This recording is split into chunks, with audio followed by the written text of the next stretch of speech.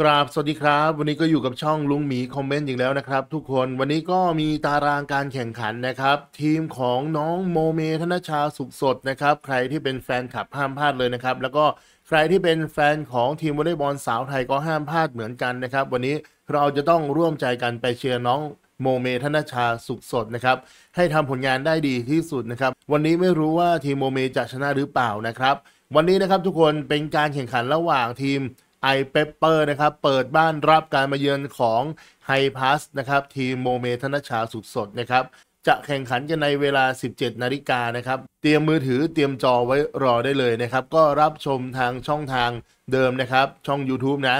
บูซิมเหมือนเดิมนะครับ B U S I M นะครับบูซิมนะ สามารถไปดูกันได้นะครับ วันนี้นะครับก็ต้องลุ้นกันว่า toxic จะโผล่มาหรือเปล่านะ แต่ต้องมาแน่นอนเพราะว่า เมื่อวานนะครับวิภาวีก็ไม่รอดนะน้องสองของเรานะครับโดนไปเต็มๆเหมือนกันนะครับในเซตที่2นะคือแบบ toxic กระจุยกระจายเลยนะครับแต่ก็ไม่เป็นไรนะครับสู้กันต่อไปนะครับเพราะว่าเล่นได้ดีจริงๆนะครับในเซตต่อๆมานะจนทีมของน้องสองวิภาวีเนี่ยแพ้ไป 3 ต่อ 2 เซตนะครับ วันนี้นะครับทีม AI Peppers นะครับ เปิดบ้านรับการมาเยือนของทีม Hi-Pass นะครับของน้องโมเมนะ เรามาดูตัวผู้เล่นของทีม AI Peppers ที่น่าจับตามองนะครับ ทีมนี้ก็จะเป็นทีมของปาร์คจองอานะครับ ตัวตบหัวเสาเกาหลีใต้นะทุกคน และเป็นการเจอกับทีมเก่านะเมื่อฤดูกาลที่แล้วนะครับปาร์คจองอาเนี่ยอยู่กับทีมกิมชอนนะครับ Hi-Pass เนี่ยในฤดูกาล 2017 ถึง 2018 นะครับ แล้วก็อยู่มาจนถึงฤดูกาล 2022 ถึง 2023 นะครับผม อยู่กับ Hi-Pass เนี่ยทีมโมเมเนี่ยมานานมากนะทุกคนนะครับ ถ้าปาร์คจองอาไม่ย้ายเนี่ยบอกเลยว่าต้องเล่นกับโมเมได้สนุกแน่นอนนะครับ เพราะว่าเป็นหัวเสาตัวทำแต้มของเขาเลยนะครับ ได้ย้ายไปอยู่กับทีม AI Peppers นะต้องบอกว่าวันนี้ปาร์คจองอาเจอกับบ้านเก่านะครับ ทีมเก่าของปาร์คจองอานะครับ แล้วก็ทีมนี้จะมีลิเบโร่นะครับ ตัวเหนียวเลยตัวหนึบเลยนะครับ ก็คือโอจียองรุ่นกัปตันคิมนะ คนนี้นี่คือเป็นลิเบโร่ตัวมือหนึ่งของทีมชาติเกาหลีเลยนะทุกคนคือเก่งจริงนะครับ แต่ว่าใน การแข่งขันคัดเลือกโอลิมปิก แล้วก็เอเชียนเกมส์นะ แล้วก็ VNL ตั้งแต่ปี 2022 โอจียองลาทีมชาติไปแล้วนะครับ แต่ถือว่ายังเป็นคนที่เหนียวจริง ๆ นะทุกคน ใครที่ได้ดู AI Peppers แข่งกับทีมมดวิภาวีก็จะเห็นนะว่า คือขุดเก่งจริง ๆ นะ ถ้าไม่เจอโมมาตบอัดใส่เรื่อยๆเนี่ยคือเหนียวจริง ๆ ทุกคนงัดได้ทุกลูกนะครับ แล้วก็ทีมส่วนใหญ่จะเป็นดาวรุ่งนะครับ ทีมชาติเกาหลีนะชุดใหม่นะครับ ผสมผสานกันไปนะครับ กับทีมเยาวชนของเกาหลีนะครับ ก็ถือว่าเป็นทีมที่เล่นได้ดีพอสมควรเลยนะครับ ในวันที่แพ้ให้กับทีมซูวอนฮุนไดนะครับ ก็ต้องบอกว่าทีม AI Peppers เนี่ยต้านทานความแรงในลูกตบของโมมาไม่ไหวนะครับ กับความเหนียวของวิภาวีที่เก็บกวาดหลังบ้านให้นะครับแพ้ทีมซูวอนฮุนไดมา 3 ต่อ 1 เซตนะทุกคน แล้วก็ทีมของโมเมเนี่ยแพ้ Pink Spiders นะครับมา 3 ต่อ 0 เซตนะ ไม่รู้ว่าตอนนี้เนี่ยปรับจูนให้เข้าขากันหรือยังนะครับ วันนี้ก็ต้องมาลุ้นกันนะครับว่าทีมโมเมเนี่ยจะสามารถชนะได้หรือเปล่านะครับ ทีนี้เรามาดูผู้เล่นของทีม Hi-Pass กันบ้างนะครับสำหรับน้องโมเมนะครับธนัชชาสุขสดก็น่าจะได้ลงเป็นตัวจริงนะครับคู่กับหัวเสาวานย่านะ บอกเลยนะครับ วันนี้วานย่าจะทำแต้มได้หรือเปล่านะครับ วันนั้นถือว่าในเซตแรกทำได้ดีนะเซตที่2เซตที่3เนี่ยโค้ชลองเปลี่ยนนะครับเอาโมเมไปหัวเสาแล้วเอาวานย่ามาเล่น บีหลังนะทุกคนก็เลยเล่นได้ไม่ค่อยดีนะครับ ประกอบกับเจอกับทีม Pink Spider ของกัปตันคิมด้วยนะ ทีมนั้นค่อนข้างที่จะแข็งแกร่งมากๆนะครับ แล้ววันนี้ก็คงจะเป็นเซตเตอร์สำรองนะครับ ที่เซ็นมาใหม่นะ ก็คือ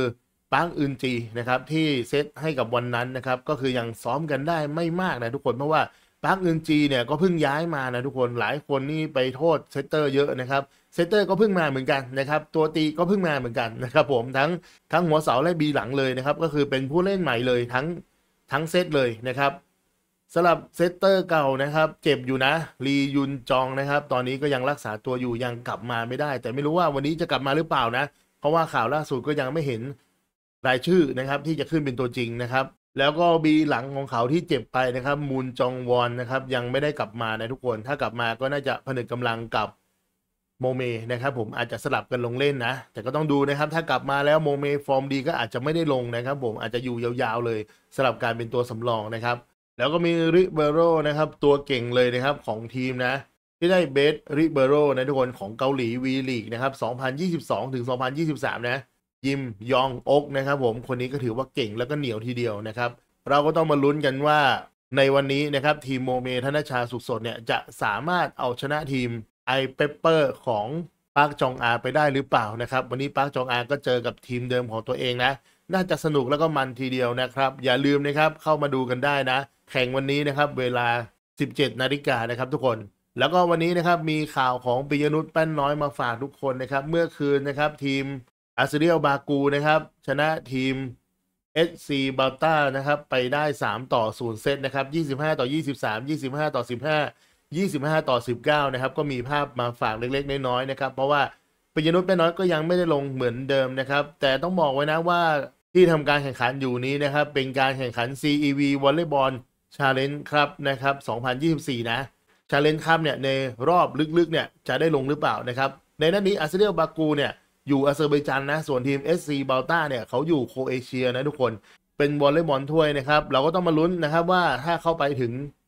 รอบลึกๆเนี่ยปิยนุชจะได้ลงหรือเปล่านะครับ ก็ต้องลุ้นกันต่อไปนะ ก็เอาภาพมาฝากกันเล็กน้อยนะครับนิดหน่อยนะเอาละผมสำหรับวันนี้นะครับก็อย่าลืมนะครับ ไปเกาะขอบหน้าจอนะครับ ไม่ว่าจะเป็นคอมหรือว่ามือถือนะครับ ไปเชียร์กันนะวันนี้โมเมลงทำการแข่งขันนะครับAI Pepper พบ Hi-Pass นะครับปาร์คจองอาเจอทีมเก่า โมเมเจอปาร์คจองอานะครับ มาดูกันว่าวันนี้โมเมของเราจะปรับจูนกับทีมได้ดีขนาดไหนนะครับ และสามารถที่จะพาทีมชนะได้หรือเปล่านะครับ ก็ต้องมาลุ้นกัน เย็นวันนี้นะครับ วันที่ 19 ตุลาคมนะครับ เวลา 17 นาฬิกานะ อย่าลืมนะครับมาดูกัน เอาละผมสำหรับวันนี้นะครับ ถ้าทุกคนชอบคลิปแบบนี้ อยากให้ลุงหมีคอมเมนต์ทำคลิปเกี่ยวกับอะไรอีกก็อย่าลืมคอมเมนต์แลกเปลี่ยนความคิดเห็นกันได้นะ ว่าวันนี้โมเมจะชนะหรือเปล่านะครับทุกคนแล้วก็อย่าลืมกดไลค์นะครับกดแชร์นะครับแล้วก็ ฝากกดติดตามช่องลุงหมีคอมเมนต์กันไว้ด้วยนะครับ แล้วอย่าลืมกดกระดิ่งนะครับ จะได้ดูคลิปใหม่ๆก่อนใครเลยนะครับ ทุกคนสำหรับวันนี้นะครับ ก็ต้องขอบคุณทุกๆคนที่เข้ามาดูคลิปนี้จนจบนะครับ ส่วนวันนี้ลุงหมีคอมเมนต์ก็ต้องขอตัวลาไปก่อนนะครับ แล้วพบกันใหม่ในคลิปต่อไปนะครับ ทุกคนกราบสวัสดีครับ